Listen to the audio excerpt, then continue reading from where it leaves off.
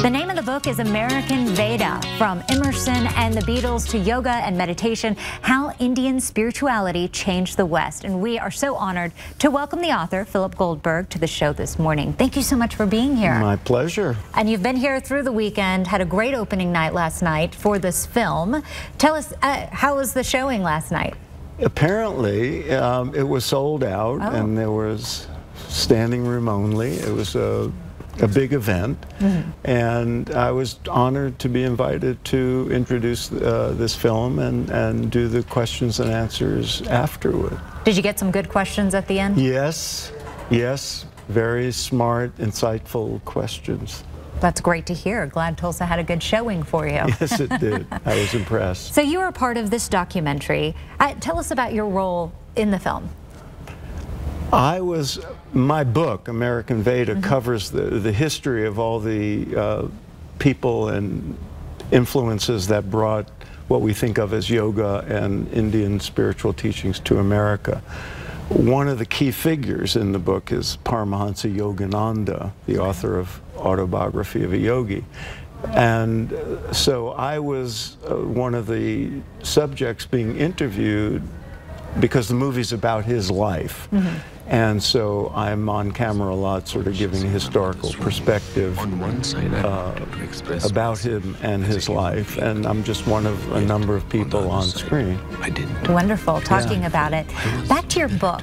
Uh, you kind of describe meditation, things that people, we know the words, but maybe we don't really know what they mean. Meditation, yoga in the West. What is the, how did we get introduced to these words and to these practices here? Well, we know a lot more about them now than we did 40 years ago and way more than we did 100 years ago. But my, what my book covers is essentially 200 years of these ideas and teachings that from ancient India that have crept into American culture from the days of Ralph Waldo Emerson mm -hmm. when there was just books through the 20th century when Indian teachers like Yogananda started to come here and then the explosion in the 60s when uh, the Beatles went to India with Maharishi Mahesh Yogi and took up transcendental meditation that was like a watershed moment in a very long history that mm -hmm. propelled our understanding of what these teachings are and the practical uh, benefits that accrue from some of these practices and what followed from that was a lot of scientific research and so forth. So now um, you know, your doctor might tell you to meditate for, for your health or to take up yoga, which, and so it's, it's kind of, the, my book is the story of how these ideas and teachings sort of became part of mainstream America that once seemed foreign and strange. Mm -hmm. That's great. A great introduction to how it got here, how you can use it. So in this film, do people learn a lot about that as well? Yeah, because the filmmakers, and I'm, I'm not one of the filmmakers, I should point that out, but they did an excellent job of telling Yogananda's life story and at the same time uh, for people who know less about it than others, uh, what the essential message mm -hmm. that he brought was and by uh, extension, all the influences and all the people who brought these teachings to, to the West. So uh, people will get an understanding of what yoga philosophy is and what yoga practices are as well as you know a, a, a wonderful sense of uh, a biographical documentary.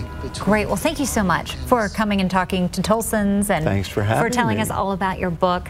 Guys, we got to tell you how you can see this film. It had such a great showing last night. They've extended it another week. It is Awake, the Life of Yogananda. It is now through November 21st, Circle Cinema, 10 South Lewis Avenue, 918-585-3504 for more information, circlecinema.com and AmericanVeda.com for more information about that great book. And we've got a copy of this book for one of our viewers.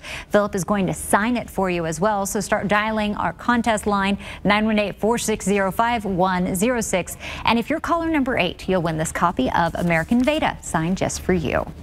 All right, Clint, got to check in with that weather. You're not going to be very popular tomorrow. No, you know, they have they've dubbed me bad news boon for a reason sometimes when these systems come in. They don't like the weather guy whenever it gets real cold. So yes, we're going to talk about the extended period of cold weather, maybe even a little snow in that eight-day planet. Stick around.